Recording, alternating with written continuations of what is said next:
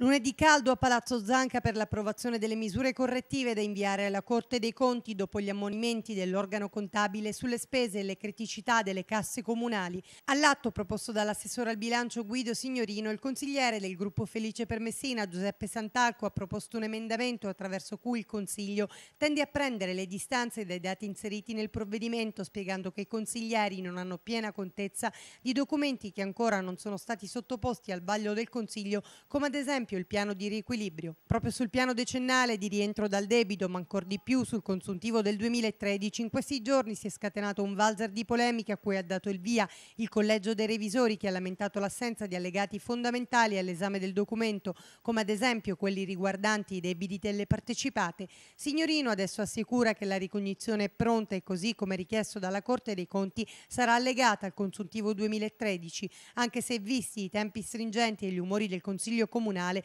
non è affatto detto che l'atto contabile troverà la sponda in aula, si fa sempre più probabile dunque l'arrivo di un commissario.